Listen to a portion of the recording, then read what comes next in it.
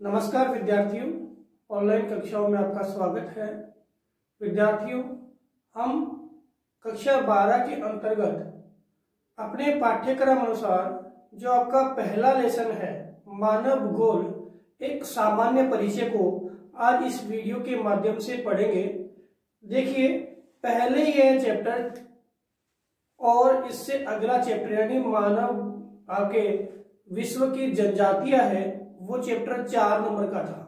यानी इस यूनिट में दो चैप्टर थे चार नंबर के।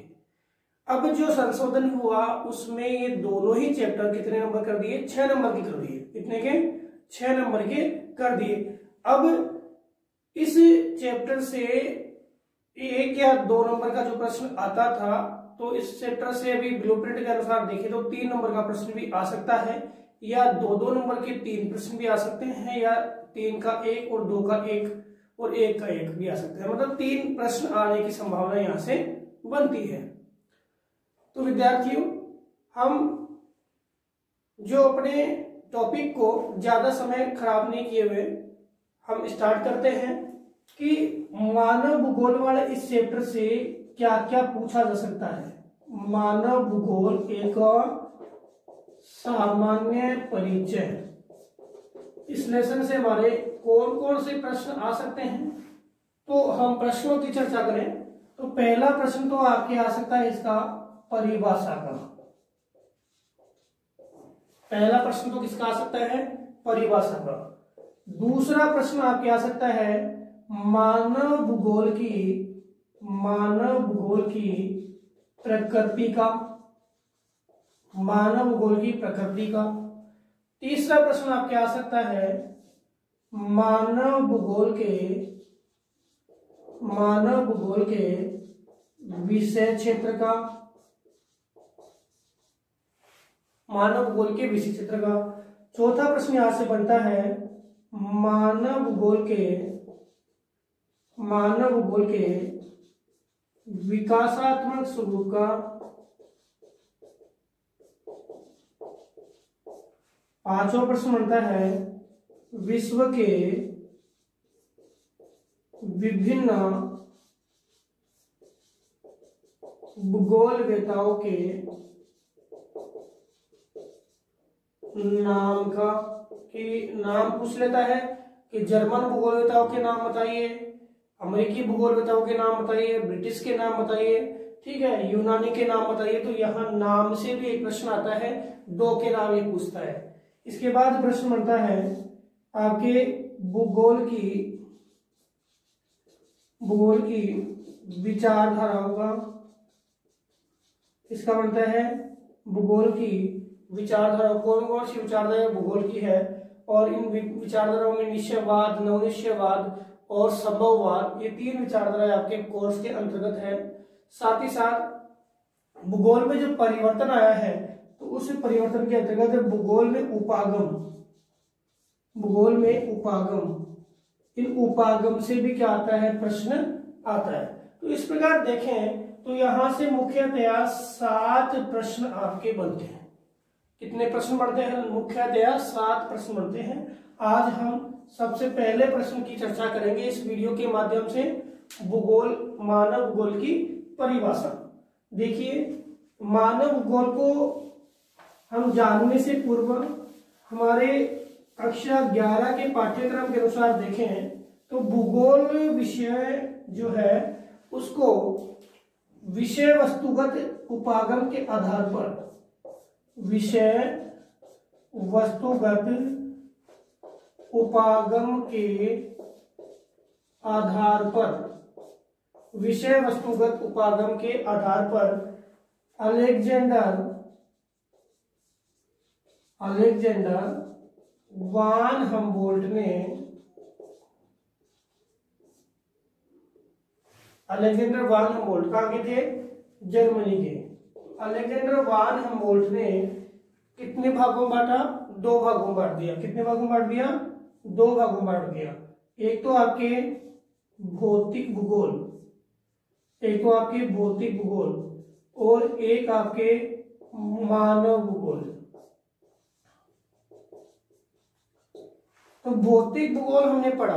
यानी भौतिक भूगोल का अर्थ है भौतिक पर्यावरण का मानव के संदर्भ में अर्थ करना, मानव के संदर्भ में अध्ययन करना। यानी भौतिक पर्यावरण का मानव के संदर्भ में या मानवीय पर्यावरण के संदर्भ में अध्ययन करना भौतिक भूगोल है। और आपके मानवीय पर्यावरण का भौतिक पर्यावरण के संदर्भ में अध्ययन करना मानव भूगोल है। तो ये दोनों ही जो विषय है, एक दूसरे से जुड़े हुए हैं, एक दूसरे के अभिन्न अंग है। भूगोल जो विषय है, इसमें हम समस्त मानवीय घटनाओं का अध्ययन करते हैं भौतिक पर्यावरण के संदर्भ में। तो भूगोल में देखो, आपके दो ही मुख्य तत्व है, एक तो मानव है और एक भौतिक पर्यावरण। तीसरा कोई तत्व नहीं है, क्योंकि अंत क्रिया इनमें होगी। अध्ययन करने वाला कौन है? मानव। अगर मानव नहीं होता तो पृथ्वी के किसी भाग का या विश्व के किसी भी भाग का अध्ययन नहीं किया जाता। क्योंकि एकमात्र साम, सामाजिक समझदार और शिक्षावद जो प्राणी है वो कौन है? मानव है। और इस मानव के आधार पर ये क्या है? पृथ्वी के विभिन्न भागों का अध्ययन किया जाता है। तो इसी आधार पर हम विषय वस्तुगत उपागम के अंतर्गत देखें तो भूगोल को दो भागों में बांटा गया। एक तो भौतिक भूगोल एक मानव। भूगोल। अब भौतिक भूगोल के बारे में हमने पहले, यानी पिछली कक्षा में पढ़ा। भौतिक भूगोल के समस्त प्रतिरूपों को पढ़ा। अब इस कक्षा के अंतर्गत हम मानव भूगोल के स्वरूप को पढ़ेंगे। मानव भूगोल जो है, वो किस प्रकार से किसी भी क्षेत्र के अध्ययन को व्यवस्थित तरीके से हमारे सामने प्रस्तुत करता है तो मानव भूगोल को पढ़ने के लिए सबसे पहले हम जानेंगे कि मानव भूगोल जो है, उस विषय के विकास को देखें तो किस विद्वान ने इसमें सबसे महत्वपूर्ण सहयोग दिया? जिसे भूगोल में आपने देखे तो हेकेटियस है, और हेकेटियस के बाद इरेटोस्थनीज है, जिन्होंने व्यवस्थित भूगोल के विकास को आगे बढ़ाया।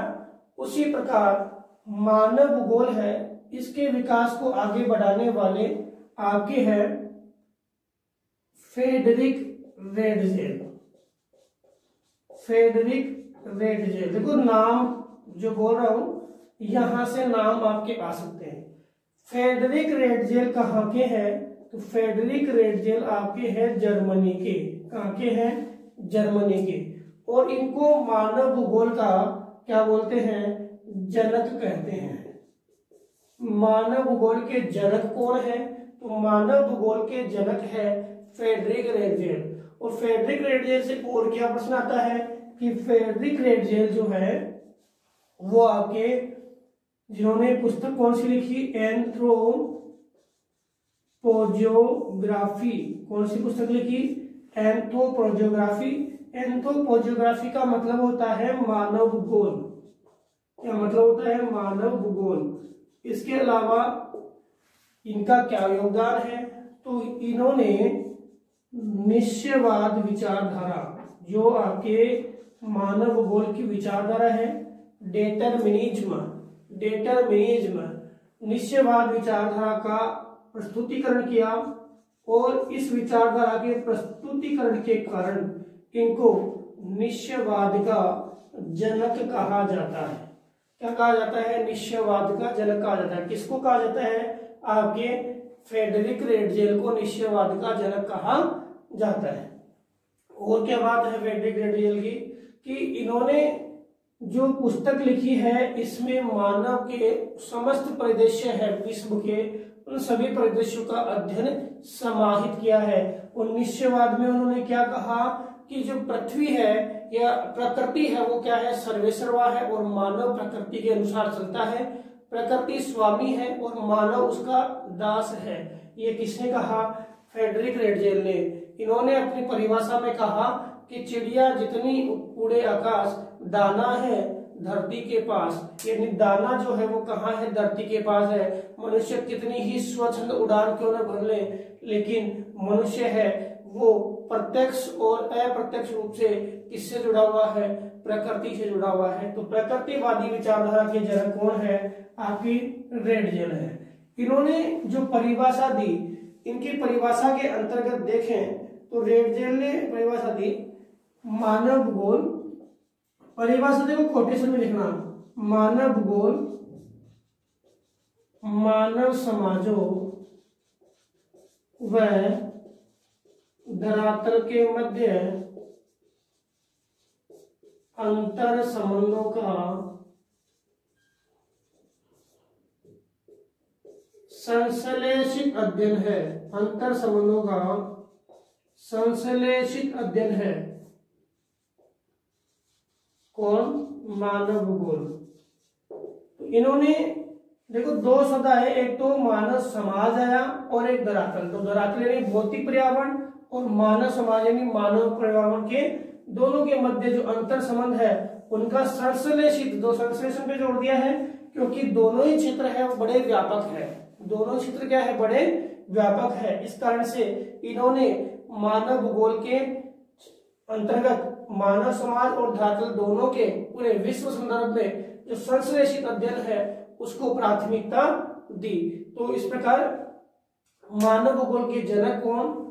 फेडरिक रेडजेल पुस्तक का नाम क्या? एंथ्रोपोजियोग्राफी और निश्चयवाद के जनक परिभाषा एक बार रिपीट करो। मानव भूगोल, मानव समाजों धरातल के मध्य अंतर संबंधों का संश्लेषित अध्ययन है।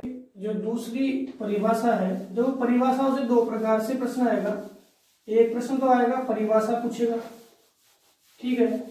वो आपके दो नंबर का आ सकता है। इसके अलावा एक प्रश्न क्या आएगा कि आपको विद्वान का नाम दे देगा और परिभाषा पूछ लेगा। ठीक है, वो आएगा दो नंबर का और परिभाषा दे दी विद्वान का नाम पूछ लिया, वो आएगा एक नंबर का। अब दूसरी परिभाषा है, कुमारी एलन चर्चिल सैंपल नाम याद कर लेना, कुमारी एलन चर्चिल सैंपल है, वो है शॉर्ट नेम है ईसी सैंपल कई जगह इसका नाम आएगा सैंपल। कहा की है अमेरिका की। और अमेरिका की भी किसकी शिष्या है तो रेड जेल की शिष्या। सारे प्रश्न ध्यान रखना। रेड जेल की क्या है? शिष्या है। और रेड जेल की शिष्या है तो उसका अनुसरण करेगी करेगी। तो ये क्या है? निश्चयवाद की समर्थक है। निश्चयवाद की समर्थक। इन्होंने क्या कहा था? इन्होंने निश्चयवाद की समर्थकता देते हुए कहा कि मानव जो है, वह एक बच्चे की बाती है और प्रकृति है, वो एक माँ की बाती है। प्रकृति माँ है और मानव बच्चा है। प्रकृति माँ की तरह मानव को दंडित भी करती है और प्रोत्साहित भी करती है। ठीक है, अगर गलत कार्य करेगा तो क्या करेगी? उसको दंडित करेगी। और अगर वह उसके अकॉर्डिंग चलेगा तो उसको प्रोत्साहित करेगी। ये बात किसने कही थी? आपके एलन चर्चिल शैम्पुल ने। परिभाषा दी अस्थिर पृथ्वी अस्थिर पृथ्वी व चंचल मानव चंचल मानव के परिवर्तनशील। परिवर्तनशील। व या क्रियाशील, एक ही बात है। परिवर्तनशील या क्रियाशील, अंतर संबंधों का। अंतर संबंधों का अध्ययन। क्या है? मानव भूगोल कहलाता है।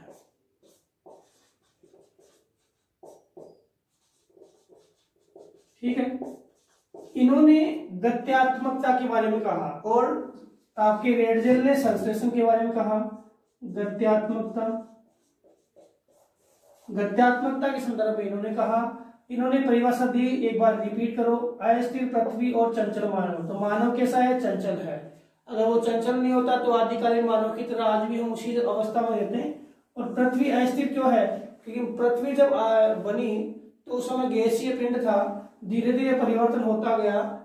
आपके महाद्वीप, महासागर बने और कई प्रकार के जो परिवर्तन है, उसके माध्यम से कई जलवायु जोन बने। तो पृथ्वी की जो स्थिति है, वो क्या है? स्थिर नहीं है और मानव का जो स्वभाव है, वो भी क्या है? स्थिर नहीं है। और दोनों के कारण जो इन दोनों के बीच में अंतर संबंध है, उससे परिवर्तनशील या क्रियाशील जो अंतर संबंध है, उससे कई परिवर्तन सामने आते हैं। और यही क्या है? मानव गुण है। यानी दोनों के बीच में परिवर्तनशील या क्रियाशील अंतर संबंधों का अध्ययन करना ही क्या है? मानव भूगोल है, और इन्होंने गत्यात्मकता के संदर्भ में कहा। इसके बाद आपकी जो परिभाषा आती है भैया अपने कोर्स में चार ही परिभाषाएँ हैं। पहले तीन ही थी, अब डिकेन और पिट्स की एक परिभाषा और है। आती तीन है मुख्यतया। विडाल्डी लाब्लास कहा के है? फ्रांस के किस विचारधारा की जनक है? तो संभववाद। पॉसिबिलिज्म संभववाद विचारधारा जो है, इसमें कहा गया है कि मानव सर्वेश्रवा और प्रकृति मानव के अकॉर्डिंग चलती है, यानी मानव स्वामी प्रकृति दास। किसने कहा? विडालजी लाब्लास ने। कहा के हैं? फ्रांस के। क्योंकि भूगोलवेताओं के नाम पूछेंगे। हमने तीन तो याद कर लिए एक तो रेड जेल जर्मनी का है, एक सैंपल है कहा की, अमेरिका की है, और एक फ्रांस का कहा, कौन है विडाल्डी लाब्लास ठीक है? इन्होंने कहा कि प्रकृति क्या है? मानव के अकॉर्डिंग चलती है, प्रकृति संभावना देती है, और मानव उन संभावनाओं के अकॉर्डिंग अपना विकास कर लेता है। लेकिन सर्वे सर्वा कौन हुआ? मानव हुआ। कौन हुआ? मानव हुआ। और इन्होंने अपनी, भाई, किसके जनक है? संभववाद के। परिभाषा दी। कि मानव परिभाषा है भौतिक पर्यावरण। भौतिक पर्यावरण एवं इसको नियंत्रित करने वाले, नियंत्रित करने वाले भौतिक नियम।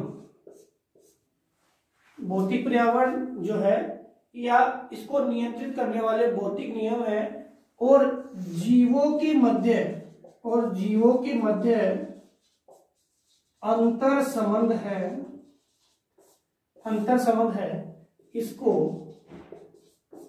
मानव भूगोल कहा जाता है। क्या कहा जाता है? मानव भूगोल, यानी भौतिक पर्यावरण और इसमें रहने वाले जीव है। इन दोनों के मध्य अंतर संबंध तो कहने का मतलब है, भौतिक पर्यावरण और मानवीय पर्यावरण के बीच अंतर संबंध क्या है? आपके मानव भूगोल है। इन्होंने भौतिक पर्यावरण और मानवीय पर्यावरण के अंतर संबंधों के ऊपर क्या दिया? ज़ोर दिया। तो याद कर लेना भौतिक पर्यावरण या इसको नियंत्रित करने वाले भौतिक नियम और जीवों के मध्य अंतर संबंधों को हम क्या बोलते हैं? मानव भूगोल कहते हैं। किसने कहा? विडालडी लाब्लास कहा के थे फ्रांस की। इसके अलावा एक परिभाषा है, डिकेन और पिट्स की। किसकी है? डिकेन और पिट्स की है। तो डिकेन पिट्स ने कहा, मानव मानव व उसके कार्य, जो मानव जो कार्य करता है, मानव एवं उसके कार्य को मानव भूगोल में समाहित किया जाता है। मानव भूगोल में समाहित किया जाता है। ठीक है? तो मानव है और मानव के कार्य है। तो मानव कार्य किसमें करेगा? भौतिक पर्यावरण में करेगा। तो मानव और उसके कार्य को किसमें समाहित करेंगे? आपके मानव भूगोल में समाहित करते हैं। ये किसने कहा? डिकेन और पिट्स ने कहा। डिकेन और पिट्स ने कहा। तो विद्यार्थियों, हमने एक प्रश्न, जो पहला प्रश्न है, जो आपके इस यूनिट से आएगा, क्या मानव भूगोल की परिभाषा? तो चार परिभाषाएँ हमने पढ़ी है। चारों परिभाषाओं के अंदर कोई भी परिभाषा या विद्वान का नाम यहाँ से पूछ सकता है। अगले वीडियो में जो अगला बिंदु है, यानी मानव गोल का, मानव गोल की प्रकृति, उसको पढ़ेंगे। धन्यवाद।